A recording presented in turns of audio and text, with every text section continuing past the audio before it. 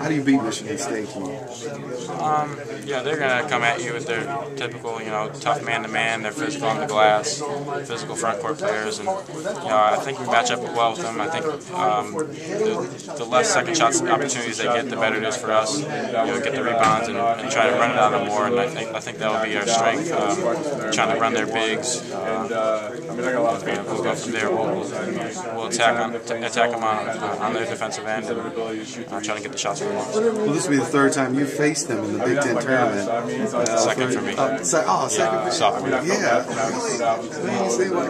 Yeah. Um, got him in the second round last year. Um, but yeah, this is the third time that uh, I think Coach McCaffery's played him, so it just seems to seems to line up that way. I mean, is it, is it a little chip on you guys' shoulder? I mean, the fact that they've knocked Iowa out of the last. Yeah, absolutely. Um, you know, this is one of the perennial you know, powerhouses in this league, and Izzo's really got it going. You know, he's always making the tournament. He's one of the best coaches, one of the best programs in the country, and uh, whenever you have a matchup like that, you always get amped up and excited.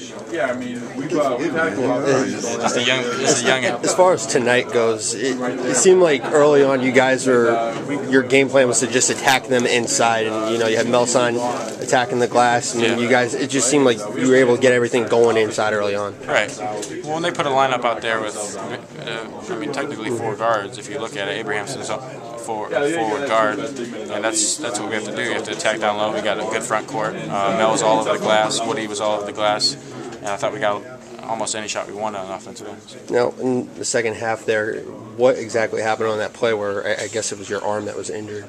Yeah, uh, he wrapped me up and kind of just just pulled it the the wrong way, and um, I don't know. Were, were you concerned it was your wrist initially, or was it like No, I something? knew it was my elbow. So Yeah, I'll it be was fine. your elbow. Is tomorrow the biggest game of you know you guys' time here? Yeah, for sure. Uh, it's the next one on our schedule. It's the next one we we can have a say a say so in, and um, you know it would be big for our program if we can win and put ourselves in a pretty good position to play in the tournament. Probably if we win tomorrow, and but I don't think you have to go in with that mindset, or you're not going to think that on the floor. But you know that you know you want to keep playing, you want to play through the weekend, that you got to win this next one.